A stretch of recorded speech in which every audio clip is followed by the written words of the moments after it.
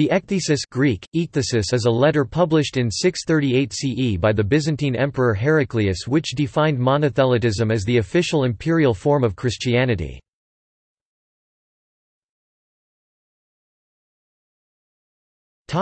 Background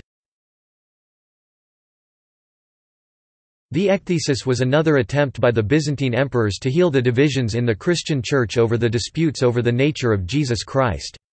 In 451 the Council of Chalcedon had ruled that Christ did not possess one divine nature, but instead possessed two distinct natures, one fully divine and one fully human, with both acting in harmony together.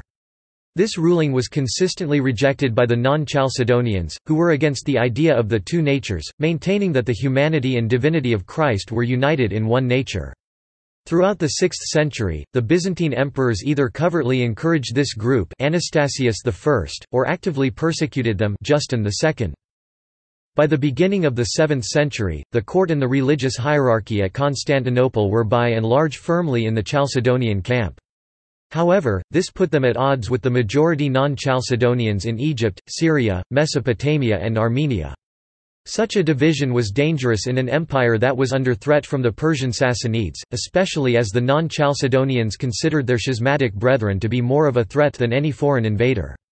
Consequently, the emperors at Constantinople were always seeking some method of rapprochement to heal the breach in the Church, and thereby prevent the empire's enemies from taking advantage of the internal divisions. With the reign of Heraclius, he and the Patriarch Sergius had attempted to find common ground between the Chalcedonians and the non-Chalcedonians by issuing the doctrine of the single energy of Christ during the mid-630s.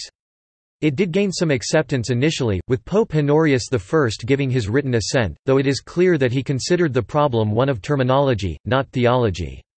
However, this compromise position was firmly opposed by the Patriarch of Jerusalem, Sophronius, and the doctrine was repudiated at the Synod of Cyprus.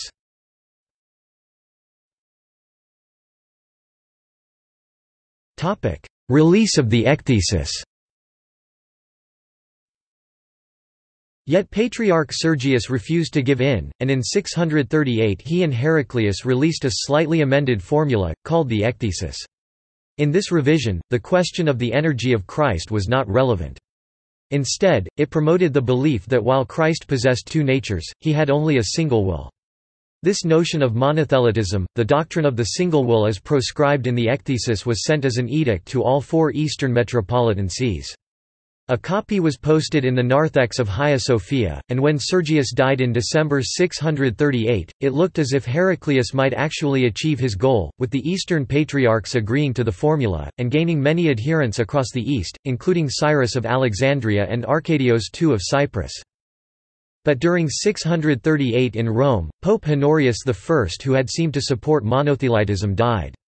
His successor Pope Severinus condemned the ecthesis outright, and so was forbidden his seat until 640.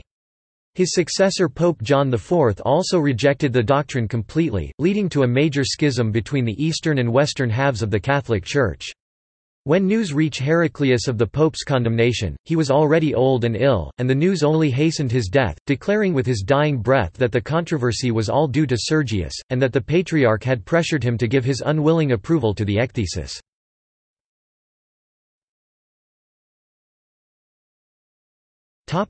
Aftermath This was the final attempt to win over the non-Chalcedonians to union with the Chalcedonians by means of a theological compromise. The areas that were largely non-Chalcedonian were soon overrun by the Islamic armies that poured from the sands of Arabia in 634. The new conquerors allowed the non-Chalcedonians to practice their faith in peace, which suited them since they no longer had the need to bend their beliefs to the Byzantine hierarchy. Since the areas that remained to the empire were largely Chalcedonian, the need to reach a theological compromise soon disappeared. Yet the Byzantine emperors were still not finished with the doctrine of monothelitism. Constans II, the grandson of Heraclius was not a supporter of monothelitism, and was determined to end the dispute with the West. Consequently, he ordered that all discussion about the monothelite doctrine was to cease and that all theological positions were to be as before the monothelite controversy erupted, issuing his typos in 648 to this effect. This directive was ignored in the West, as the ecthesis was condemned by the Lateran Council of 649. This infuriated Emperor Constans who ordered the arrest and trials of Pope Martin I and Maximus the Confessor. The persecutions of the zealous prosecutors only ended with the death of Constans in 668, and monothelitism was officially condemned at the Third Council of Constantinople the Sixth Ecumenical Council, 680–681 in favor of diothelitism, which put to rest the issue of the ecthesis.